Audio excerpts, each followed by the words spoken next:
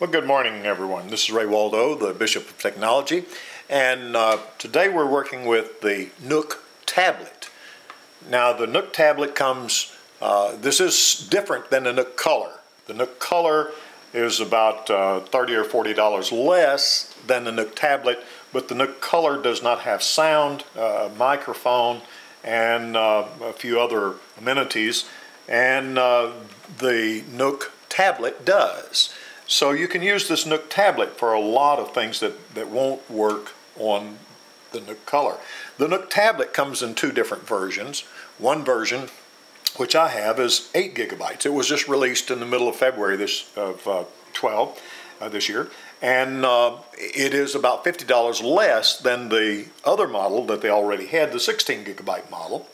And uh, by and large, I think it probably will do just about as well as the 16 gigabyte version, except that uh, the 16 gigabyte version already had some ROMs and, and uh, uh, uh, other software, custom software built for it when this version came out. And if you did like I did and tried to flash those ROMs onto this smaller device, they won't fit and you will brick your device as I did. Now I was able to re restore it and now this, this device is totally stock. It is back to complete stock. There's no modification to it whatsoever. It's an 8 gigabyte stock running 1.4.2 version of the uh, Barnes & Noble software.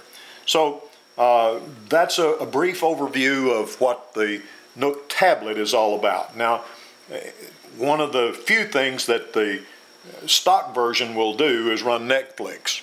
a few things other than read books. Now I haven't even signed in on this one because I just converted reverted back to standard uh, uh, stock version. So it is. Uh, it's not a very usable device, and unless you want to read books, which you know that's I recommend that.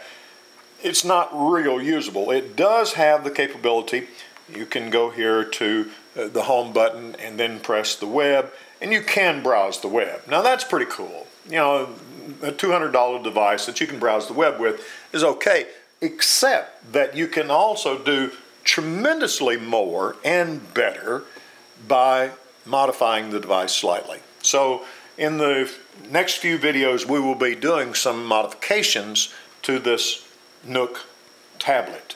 Now uh, again, be real careful if you have a Nook tablet 8 gigabyte version.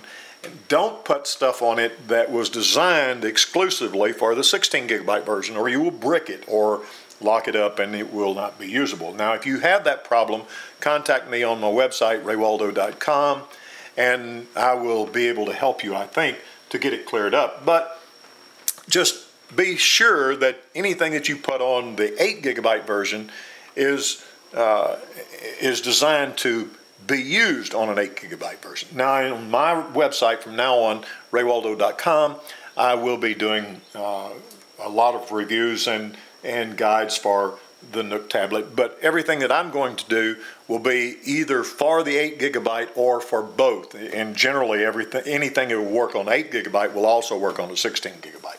So that's it for today, uh, or at least for this episode.